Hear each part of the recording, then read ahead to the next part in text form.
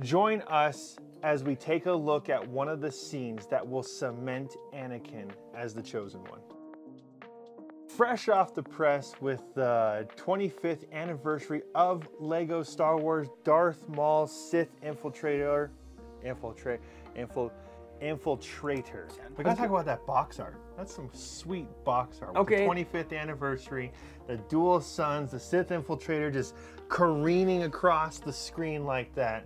This is Lego set 75383. As he said, it's the Sith Infiltrator. We've seen one from the 1999 to From now. the 1999? 1999. Okay, look at look how bad now. this is getting. I honestly, it looks the same, but I mean, obviously, What? I, it's How dare you. The minifigs that came with this set, there were four of them. Starting off with young Annie. He's in his brown shorts. He's in his brown clothes that you saw on Tatooine. Okay. He has like, like long hair and he's kind of like a happy face and a whoo face. He a speeder bike flies right over his head Yeah. and he poops his pants. Then you've got Qui-Gon. This Qui-Gon is a pretty detailed Qui-Gon. I've seen other iterations of him that have the poncho like this. The He original looks one. weird without the hair on though. He's like that. Their original one had the brown cape. This one does not. He has uh-huh. a poncho because he actually had, if you actually watch the show, he has a poncho on. But he's obviously in his Jedi clothes, his brown shorts, because he put his pants too. And he's You got a just a green get lightsaber. ran over? he did. And he's got two faces too. One kind of happy and one like, oh my goodness, he almost died. Anakin, drop! Now this one, the one that gets me is Darth Maul. This is a good looking Darth Maul because it's the newer version. He's got the head that comes off, you take it off, it's just a normal Darth Maul. Or you have his little spiky headpiece. He's in his black Sith um, attire with his double bladed red lightsaber. The only problem is, in the show, he is wearing a show. The movie, he's wearing a cloak, and he has a cape. This is the one that needs a cape. It is sad that he's missing. He's missing everything. This is like And what he verses in Obi Wan in the clones. That- That's what he looks like. It's just, just it's just Mm-hmm. him. And then you get the special character, the exclusive character, Saw Gerrera. He is in his green like power armor, basically. That's what it is. Okay, he's got his cool little cape, his staff of Ra.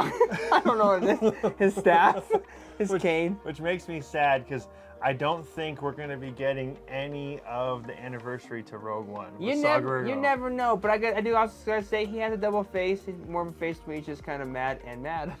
And on to the Sith Infiltrator, which by far is the most updated version that we have specifically. We only have three versions of them the original, the second, and this one. Apparently, there's like a billion, so I don't know how much more updated this is compared to the other two versions that we're missing. So you have three probe droids that scout all throughout the sea. I think they're just probe droids, right? They don't explode or anything. Yeah. It's been a while since I've seen the movie. But yes, you have three little we probe just saw the movie like a month ago. You also have Darth Maul's speeder bike, which is a lot more slender than the first iteration.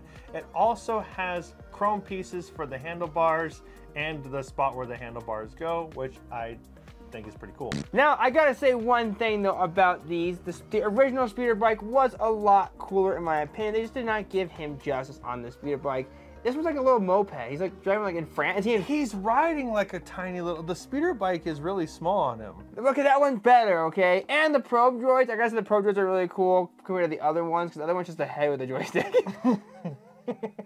And now you have the Sith Infiltrator. The exterior is a lot more detailed than the previous iterations that we have, but you also have landing gear, which I like. It doesn't do much. When you set it down, the landing gear can actually sit with its feet up. You also have the folding wings that allow it to fly and then land, which I've always loved about that. I could just do that for hours. Just flip them open, put them closed, flip them open, put them closed. The coolest part about this ship is the open cockpit here. You have an interior light, so that way when he's flying at night, he can see where he's going. And you have a nav computer, very detailed.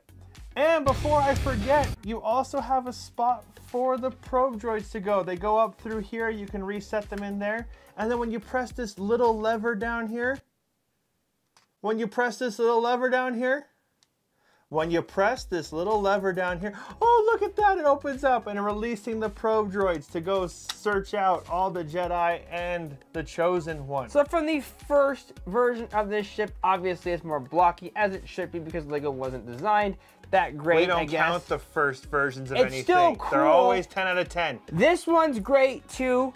We found this one in our pile. It looks very similar, but it we don't know which set this is. I uh, there's no figures. There's nothing. We just have this ship. This ship. I don't know where we got it We looked at Google. We saw all the other ones. We did not see this one, but it has like the exact same thing almost. It's just like I broke in. This ship doesn't exist. If you can It's tell us lopsided. which set this is, we would love you forever because we can't find it. Okay, but I want to know one. This has the same hatch on the top almost. It's now time to see where this sucker falls on the stud scale. It's not Is a it the- stud scale. Is it the stud scale? It's the brick scale. It's the brick score, Oh, it's the brick score. How I don't know what never- that is. First up on the brick score, we have the build. That's 640 pieces. It took me roughly 50 minutes to build. Honestly, throughout the whole thing, if you had told me I was building a Venator, I would have believed you because until the very end, it looked like I was just building a Venator. But I'm gonna go ahead and give this a three out of five. On to the minifigs. I've got to say, it does come with some cool ones, but we've seen them all in the past. I mean, honestly, I've seen the exact ones. It seems like they haven't really changed, in my honest opinion.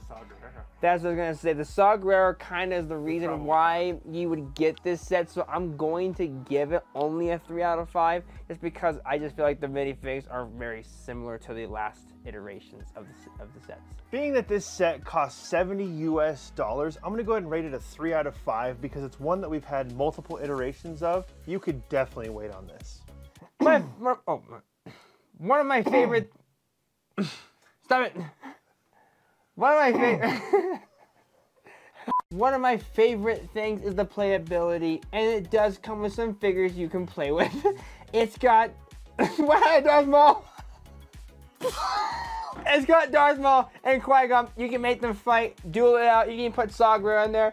It's up to you on how you want to do it. So I will give it a 4 out of 5 for playability because it has a ton that you can do. This set though is necessary for your Star Wars collection because it is a 25 year anniversary. We're just saying that you can wait. You don't have to go out there and panic buy to get this set, but don't let it expire off the shelf. You need it for your collection because of the 25 year anniversary thing. But as always, we thank you guys for watching. Let us know what you guys think in the comments down below, and we'll see you next time.